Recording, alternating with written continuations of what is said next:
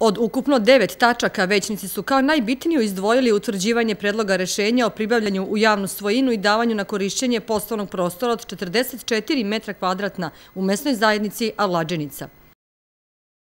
6 miliona i 800 hiljada dinara je ovaj prostor koji će koristiti građanima ove mesne zajednice, naravno i za različite aktivnosti, pre svega za savjet mesne zajednice, ali naravno i sve ostale aktivnosti koje su neophodne.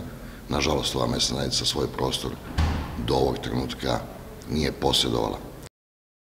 Takođe, utvrđena je i ekspropriacija dve saobraćajnice, odnosno Sinđelićeve ulice, koja treba da izađe na ulicu Vojvode Stepe.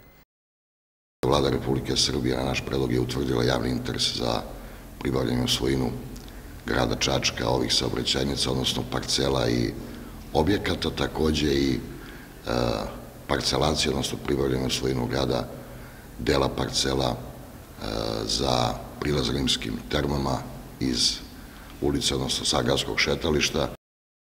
Usvojen je i izveštaj budžetske inspekcije Čačka za 2021. godinu. Budžetska inspekcija imala je 11 redovnih i jednu vanrednu kontrolu. Na sednici gradskog veća našla se i jedna žalba stanara iz ulice Koče Anđelkovića koja je odbijena.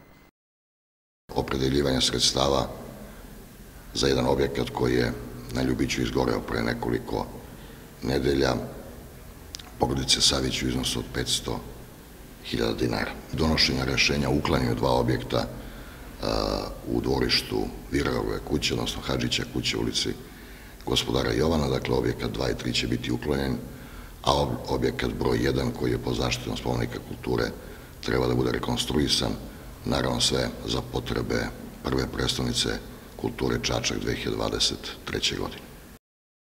Prvi čovjek grada sa svojim saradnicima ovih dana će obići objekat u Bulevaru Oslobođenja kako bi videli šta je neophodno oko uređenja tog prostora, a Skupština u četvrtak treba da potvrdi odluku gradskog veća o pribavljanju u javnu svojinu.